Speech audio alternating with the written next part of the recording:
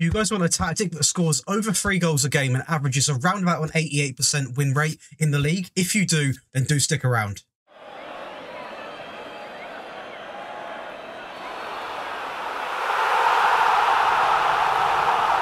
So guys, it is Josh from FM Scout and today I'm going to be bringing you another tactic and it is going to be another one of Knap's fantastic tactics. This one is going to be a 4-2-3-1 and it is a ton of fun to use. We've tested with four teams all suggested by you guys. So be sure to see if your team is included in today's episode. If it isn't, then be sure to comment the team you want to see tested with below and also any general tactic ideas. But this one is a ton of fun to use and I would recommend downloading it. The link is in the description. If you do enjoy these tactic videos, be sure to leave a like on this one, subscribe to the FM Scout channel, and yeah, check out the other content as well because there's a ton of good stuff going on right now.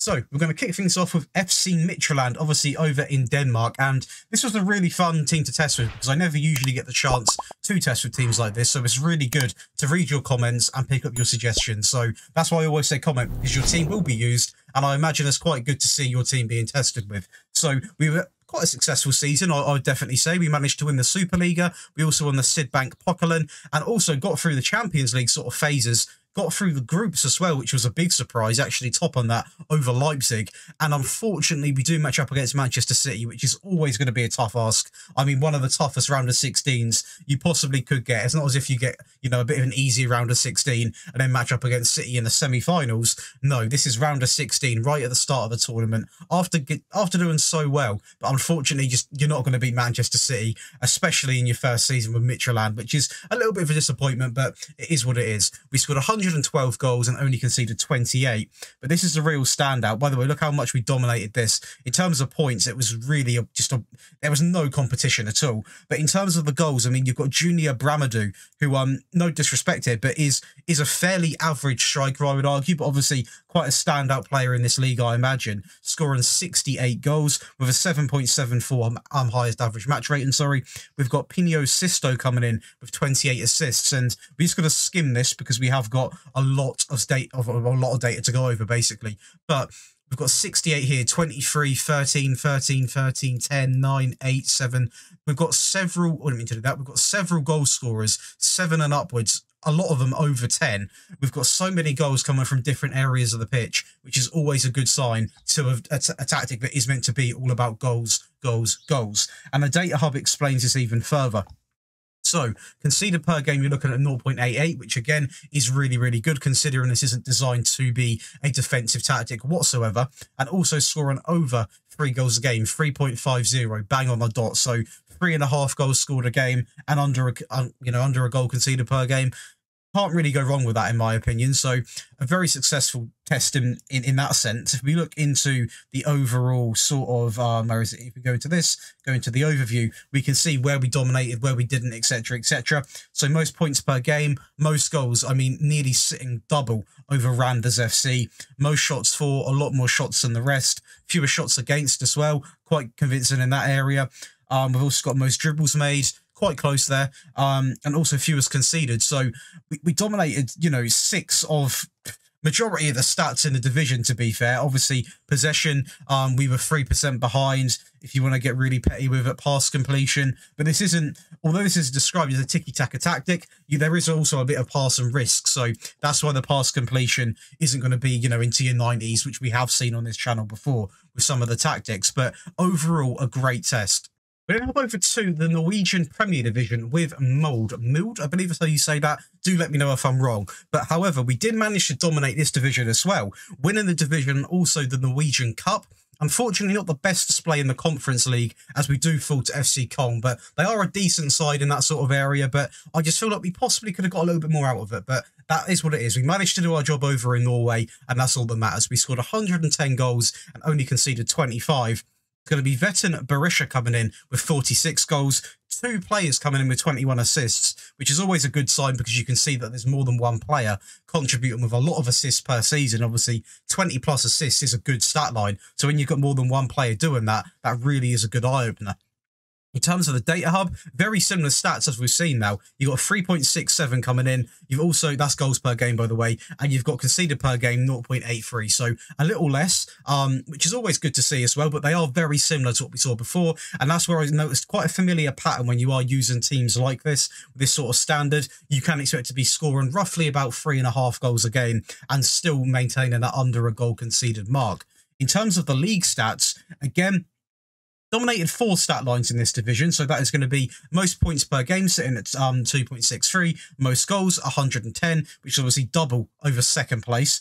You've got most shots for at 631, and also fewest conceded at 25. So again, a very convincing season in my opinion. And just as as I say in the first test, it's really fun to be testing in these different divisions compared to what I'm used to testing in. The next test is going to be with Manchester City, and this was a viewer suggestion because I've seen two or three comments actually saying, why have you stopped testing with a Man City or PSG each video? It's good to see both perspectives. So now it is back, guys. You are going to see one powerhouse team per sort of test, just in case you you are you know playing as teams like that, or you've built a team like that standard. And when you do use a team like Manchester City, this tactic really does get firing on all cylinders. I mean, I'm pretty sure you've seen it, right?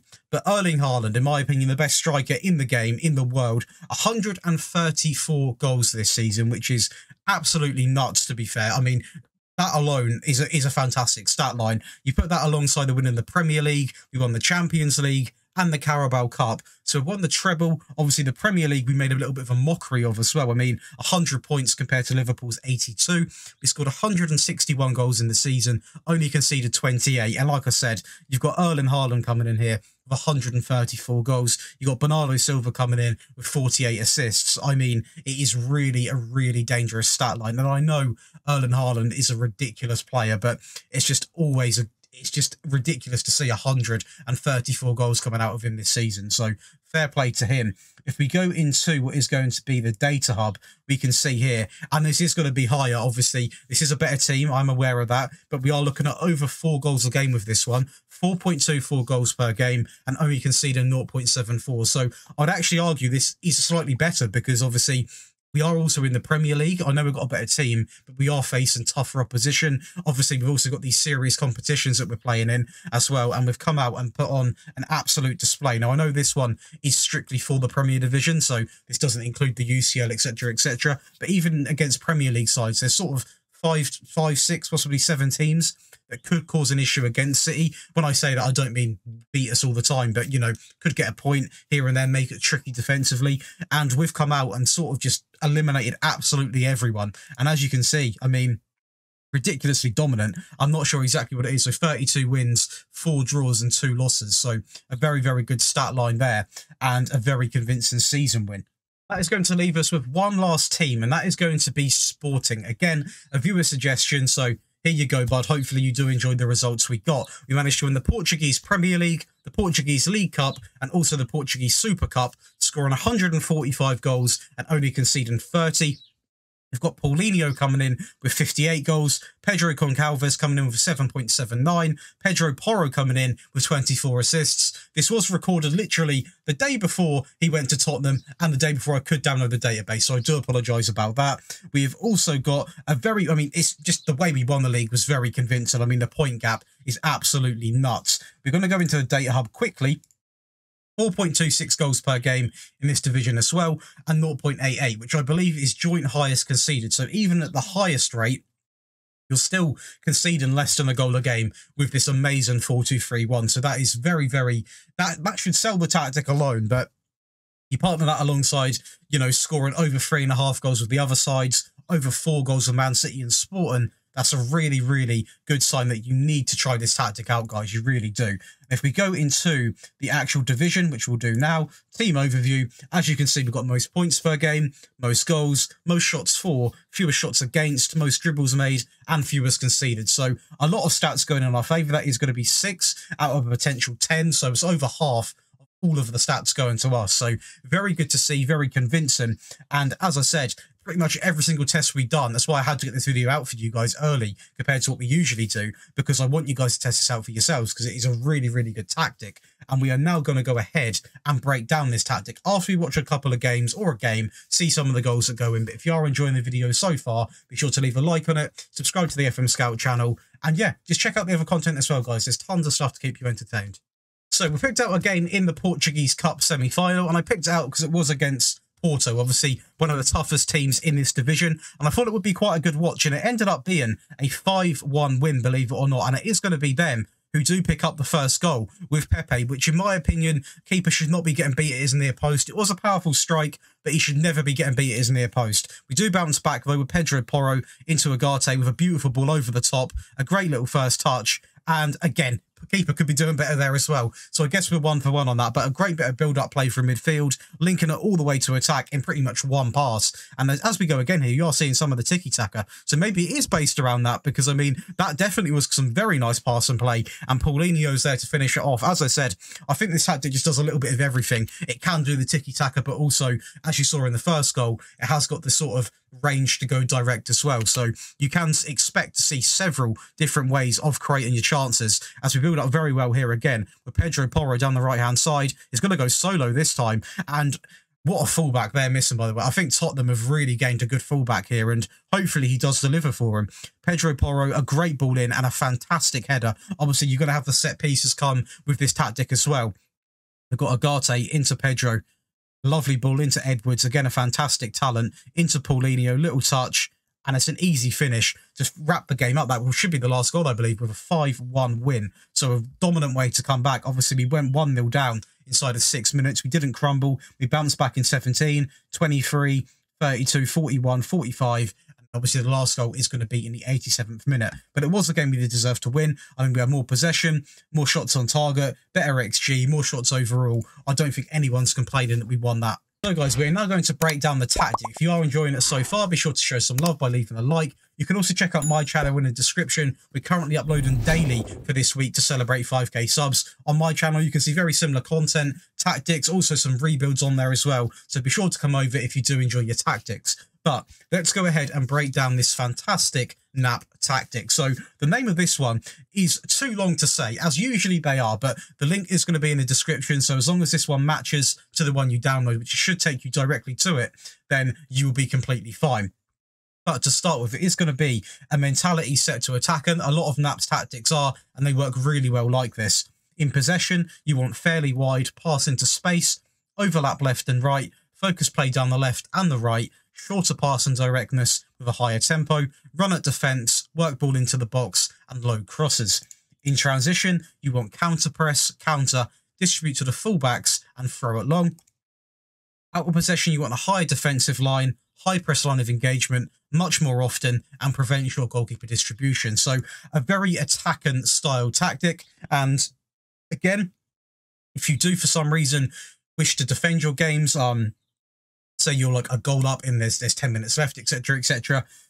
You could look to lower that defensive line, obviously, possibly to standard. That would just sort of even out the game a little bit. Or if you want to go really real, you know, backs against the wall, throwing everything at it, you could even have it to lower, drop the line a little bit completely, have drop off more, you know, stay on feet, stay disciplined, allow the shots, but sort of, you know, just try and maintain that goal lead. But I, I always recommend in FM, don't go too defensive because sometimes you invite too much pressure on and eventually it always means you're going to concede. And that leaves us with the player roles. And here we go then. So we're going to start off with a sweeper keeper on defend. And that is going to be take fewer risks and ease off tackles.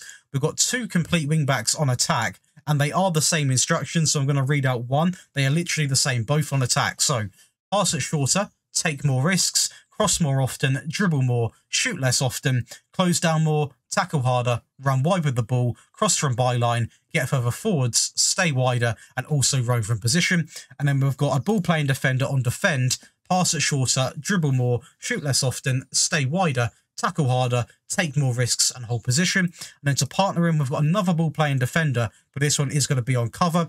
Pass it shorter, dribble more, shoot less often, stay wider, tackle harder, and take more risks. The two in midfield, then we have a DM on support and also a Volante on attack. The DM is going to be pass it shorter, take more risks, dribble more, shoot less often, get further forwards, close down more, tackle harder, and also mark tighter. And then the Volante, which worked really well in this system, on attack, take more risks, dribble more, shoot less often, tackle harder, and get further forwards.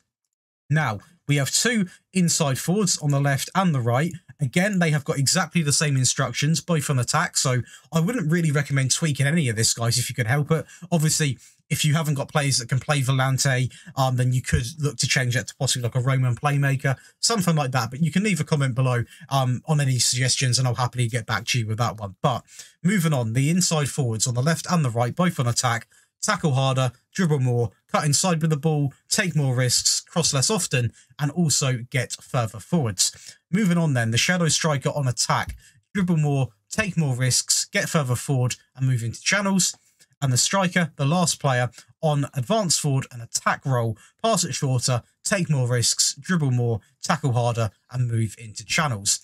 And that is going to be the Knap tactic broken down, guys. As always, show some love to him in the comments. And do you know what? He, he makes some absolutely world-class tactics. And this one is just another one to add to his catalogue of tactics. So if you do want to test it out, you can do it by either copying the instructions yourself, if you want to, you know, possibly tweak things as you go, or you can download it from the link in the description. But that is going to be it for me today, guys. It would mean a lot if you chose some love on the channel by leaving a, you know, a subscription to the channel, leaving a like, leaving a positive comment, whatever you wish to do. It does mean a lot. But I will see you guys in the next one.